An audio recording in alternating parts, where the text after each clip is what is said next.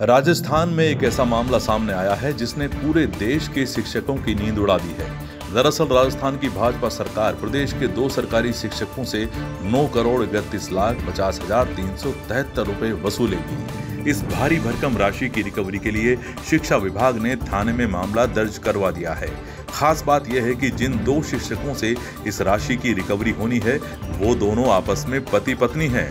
इस शिक्षक दंपति से सरकार 9 करोड़ इकतीस लाख पचास हज़ार तीन सौ तिहत्तर रुपए वसूलने की दिशा में प्रक्रिया शुरू कर चुकी है। इस भारी भरकम राशि की रिकवरी के लिए प्राथमिकी दर्ज होने के बाद ये मामला सुर्खियों में है। आइए जानते हैं इस मामले की पूरी कहानी। शिक्षक दंपति से 9 करोड़ इकतीस लाख पचास हज़ार तीन सौ तिहत्तर रुपए वसूलने की ये कहानी राजस्थान के 12 ज़िले की है। जिन शिक्षकों से इस राशि की रिकवरी होनी है, उनका नाम विष्णु गर्ग और मंजू गर्ग है। दोनों आपस में पति पत्नी हैं।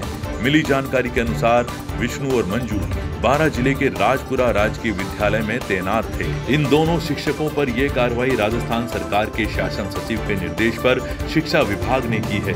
बारह के राजकीय विद्यालय राजपुरा के डमी अध्यापकों और गबन के प्रकरण में अध्यापक दंपति विष्णु गर्ग और उनकी पत्नी मंजू गर्ग पर धारा 420, 409 गबन की धाराओं में मामला दर्ज कराया है, जहाँ 9 करोड़ का पोषाहार और तनख्वाह का गबन के मामले को लेकर सरकार ने तुरंत गिरफ्तारी के निर्देश पुलिस को दिए हैं। पाँच हज़ार रूपए में डमी टीचर रखते थे।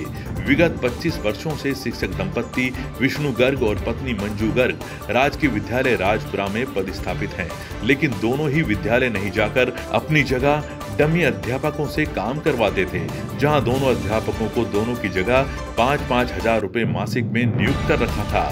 जो वहाँ जाता था तो डमी अध्यापक अपने आप को विष्णु गर्ग और मंजू गर्ग बताते थे।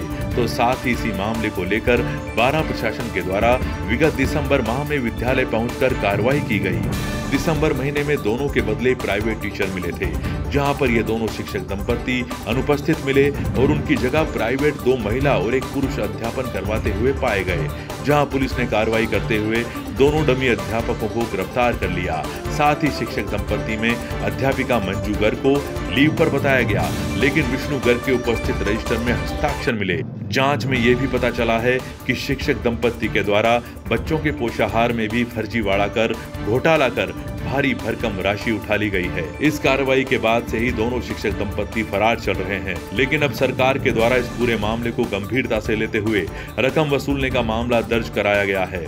2017 में भी बारह कलेक्टर द्वारा दोनों का फर्जीवाड़ा पाए जाने पर इंक्रीमेंट रोका गया था। लेकिन सरकार बदलते ही कार्रवाई को दबा दिया गया।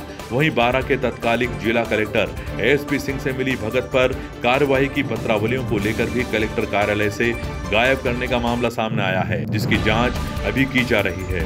मेलखेड़ी के राजकीय विद्यालय के राजपुरा गाँव के शिक्षक दंपति विष्णु गर्ग और उसकी पत्नी मंजू गर्ग पिछले 20 सालों से एक ही विद्यालय में पढ़ा रहे हैं, लेकिन वो खुद स्कूल में नहीं जाते, बल्कि अपनी जगह पर थोड़ी बहुत सी रकम में प्राइवेट टीचर लगा रखे हैं। राजस्थान के बारह में सरकारी शिक्षक दंपति द्वारा खुद की जगह किराए पर शिक्षक रखकर सरकार को चूना लगाने वाले शिक्षक दंपति पर सरकार अब सख्त हो गई है। शिक्षा मंत्री मदन दिलावर ने सोमवार को शिक्षक दंपति से ब्याज सहित रकम वसूलने के निर्देश दिए हैं और जिला शिक्षा अधिकारी को मामले की पूरी जाँच के आदेश भी दिए हैं। दरअसल मेलखेड़ी के राजकीय विद्यालय के राजपुरा गाँव के शिक्षक दंपति विष्णु गर्ग और उसकी पत्नी मंजू गर्ग पिछले 20 सालों से एक ही विद्यालय में पढ़ा रहे हैं। लेकिन खुद स्कूल में नहीं आते, बल्कि अपनी जगह पर बहुत थोड़ी सी रकम में प्राइवेट टीचर लगा रखे थे। अब सरकार ने उनसे ब्याज समेत सरकारी पैसा वसूलने की बात कही है।